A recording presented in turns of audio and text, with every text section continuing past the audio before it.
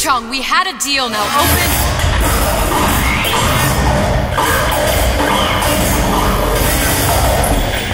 Do you know what they call someone who enters a man's home uninvited? A thief. And I do not remember inviting you into my city. I had a deal with Suchong. Yi Chong is my employee. It was not a deal he was authorized to make. What do you want? I granted Atlas and his thugs asylum. You serve those same men in a desire to escape from my generosity. If they shall not have asylum, then they shall have liquidation. Give a parasite an ounce of charity. He'll demand a pound. I'm just looking for a girl that was taken from me. A little sister. I don't claim to understand what you are. But I know that you are special. There is business we can do together. And so I give you a choice. Work for me or die with Atlas. I'm not going anywhere without that girl. If it's a little sister you want, that shouldn't stand in the way of commerce. I've got dozens of them. I won't leave without her. My men stand ready to take down the door. In 60 seconds, they will enter the room. They will either treat you as a valued employee of Ryan Industries or as a thief in the night. 60 seconds. There must be half a dozen of them or more. I I can use the plasmids as traps and, and seed the room with them. I gotta find somewhere to hide and, and surprise them. Take them down one by one. Booker. I'm scared. They'll underestimate you, Elizabeth. People always do. 40 seconds. You know what I see on your face? Uncertainty. Who is this girl to you? 30 seconds. Know the value of the shark. Without them, the sea would be littered with the detritus of the weak. The men who come for you have much in common with those great animals. What sharks do for the ocean, these men do for rapture. 20 seconds. I will tell you something you already sense. Atlas does not honor agreements. Andrew Ryan does. I cannot save your Sally, but I can save you.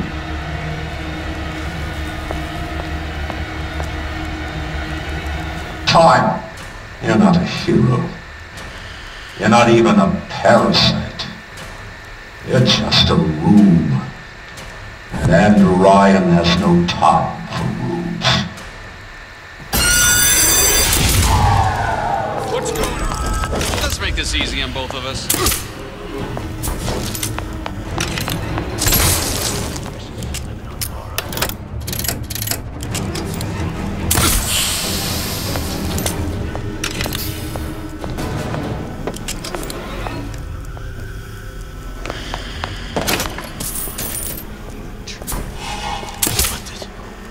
Still here, aren't you?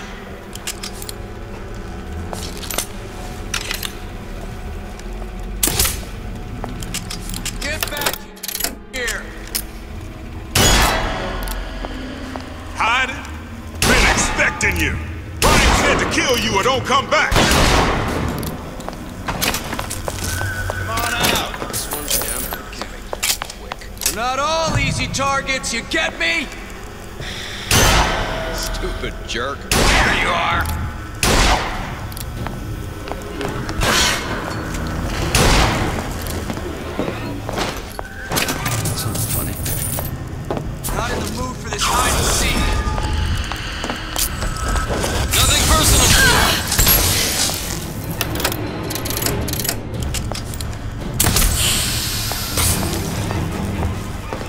Where is? Lady, you're working my last nerve. down for the count. This won't take long.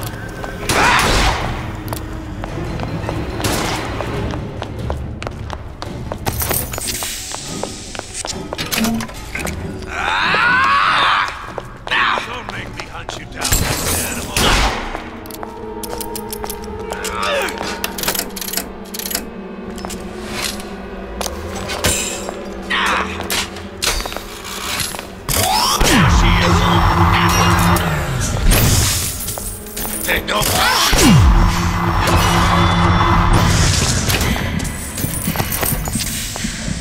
I beat your sharks, Ryan. The better man won. Isn't that the only thing you respect? Now let me the hell out of here.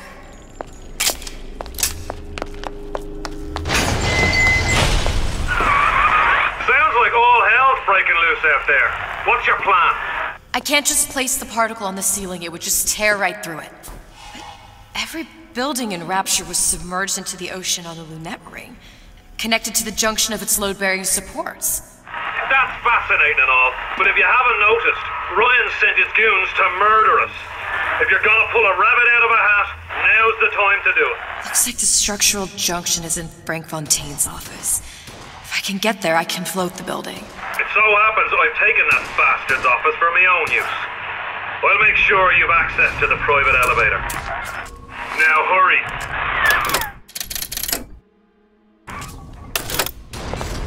Let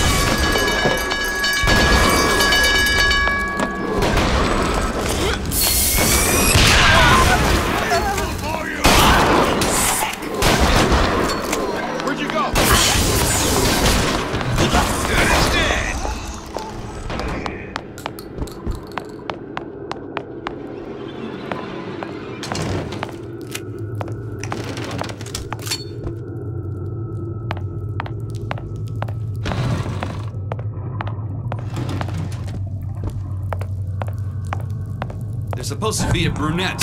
Anyone seen her? Look around! Ryan's built up considerable The rest of Atlas's crew are barricaded up that elevator shaft. You go. When the backup arrives, we'll go in. Stupid jerk. Should have never stuck his neck out.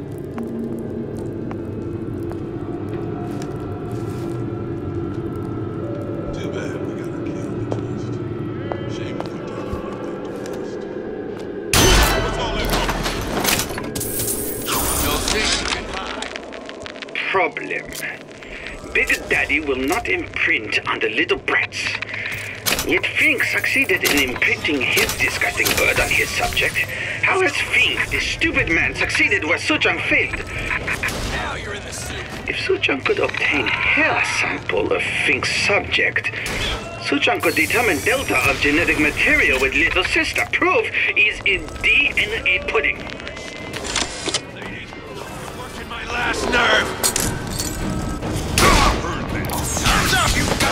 Still here, aren't you? Do you know how much trouble you caused me?